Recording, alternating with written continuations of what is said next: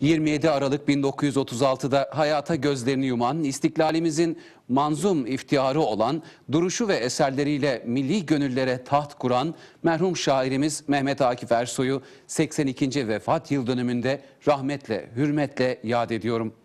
Akif'i yakından tanıyanlar müstesna derecede vefakar olduğunu söylemişlerdi. Vefasızlığın onun nazarında namertlik olduğunu, dostluğuna bir hakkın güvenildiğini ifade etmişlerdi.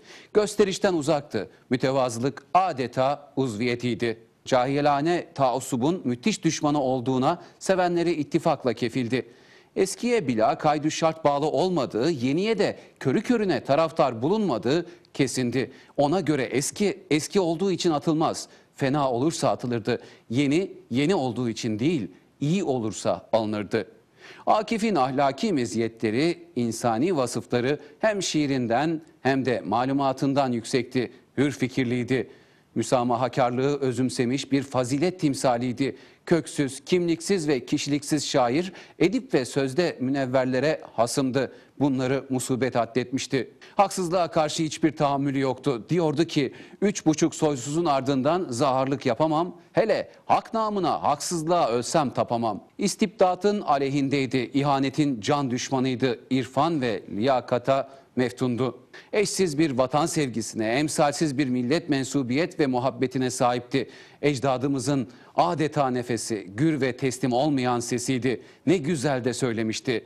Zannetme ki ecdadın asırlarca uyudu. Nereden bulacaktın o zaman eldeki yurdu? Sanem'in izinden gidenlere Samet'in keskin bir kılıcı olup cephe almıştı. İstiklalimizin ruh özlemlerini, Türk milletinin haklı ve meşru hedeflerini manzum dizelere döken ahlak kahramanımız merhum Akif'ten Allah razı olsun diyorum. Ayrıca Gazi Mustafa Kemal Atatürk'ün 99 yıl evvel Ankara'ya gelişi İstiklal meşalesini körüklemiş, istikbalimizin üzerindeki sis perdesini kaldırmıştır. Nitekim 27 Aralık 1919'da Dikmen sırtlarında parlayan irade milli mücadelenin başarıya ulaşmasında öncü ve lider rol oynamıştır. Bu vesileyle dönemin yiğit seymenlerine, milli mücadele kahramanlarına, aziz şehitlerimize elbette devletimizin kurucusu Gazi Mustafa Kemal Atatürk'e Cenab-ı Allah'tan rahmetler niyaz ediyorum. Ne mutlu Türk'üm diyene.